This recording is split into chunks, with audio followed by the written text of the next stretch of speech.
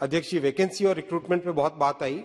अध्यक्ष जी 2009 से 14 में 2009 से 14 में दो लाख बयालीस हज़ार सात सौ नौ अपॉइंटमेंट्स रेलवे ने दिए थे। 14 से 14 के बाद में मोदी जी ने आके अब तक तीन लाख चवालीस हज़ार three lakh forty four thousand four six forty six appointments already दे दिए plus one lakh plus one lakh forty thousand seven hundred thirteen का रिक्रूटमेंट प्रोसेस चल रहा है। कई सदस्य कल बोल रहे थे कि रिक्रूटमेंट पे बैन है। कोई रिक्रूटमेंट पे बैन की बात नहीं है। रिक्रूटमेंट ऑलरेडी चल रहा है। थोड़ा सा होमवर्क करके आए। सदन की गरिमा की बात है। कोई बैन नहीं है ऑलरेडी रिक्रूटमेंट चल रहा है।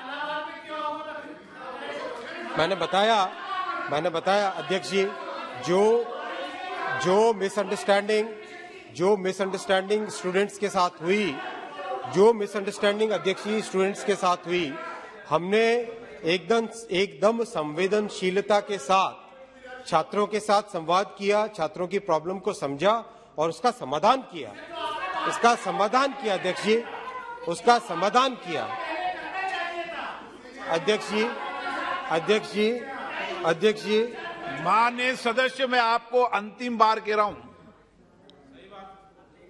आप हर बार बीच में बोलते हैं आपकी पार्टी को जितना था उससे ज़्यादा मौका दे दिया है। बीच में बोलने से आप स्कोर करने की कोशिश नहीं करें।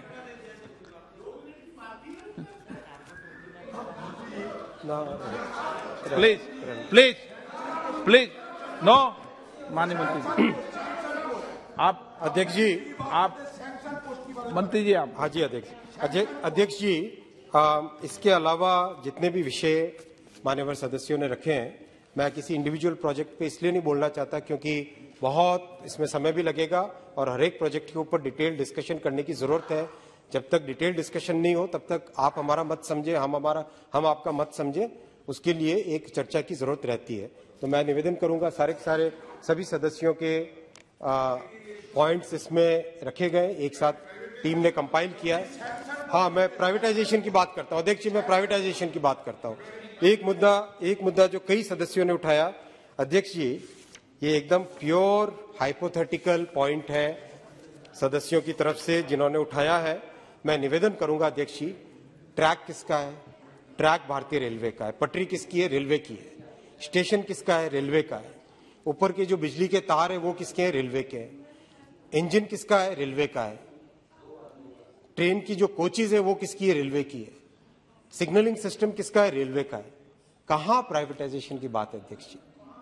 कहीं कोई प्राइवेटाइजेशन की बात नहीं। मेरे पूर्ववर्ती मान्य मंत्री श्री पीयूष जी गोयल ने सदन के फ्लोर पे क्लियरली कहा था कि रेलवे एक ऐसा कॉम्प्लेक्स ऑर्गेनाइजेशन है, इसमें कहीं पर भी प्राइवेटाइजेशन की कोई बात ही नहीं है। कोई प्राइवेटाइजेशन की रेलवे के प्राइवेटाइजेशन की बात नहीं है, अध्यक्ष जी। एकदम स्पष्ट है, एकदम स्पष्ट है ये। एकदम स्पष्ट है। कुछ मान्यवर सदस्यों ने कहा कि फ्रेट ट्रेन को प्राइवेटाइज किया जा रहा बिल्कुल नहीं है। कोई फ्रेट ट्रेन को प्राइवेटाइजेशन का कोई प्लान नहीं है। और अध्यक्ष जी प्राइवेटाइजेशन के बारे में बहुत स्पष्ट भारत सरकार की जो नीति है, उसमें क्लियरली रेलवे को लिखा गया है कि रेलवे एक स्ट्रैटेजिक सेक्टर है। उस स्ट्रैटेजिक सेक्टर की सोशल ऑब्लिगेशन है। उस सोशल ऑब्लिगेशन और कमर्शियल वायबिलिटी को देखते हुए इसके प्राइवेटाइजेशन की कहीं पर कोई चर्चा नहीं है, कोई प्लानिंग नहीं है अध्यक्ष जी। तो ये सारे बड़े बड़े पॉइंट्स आए अध्यक्ष जी।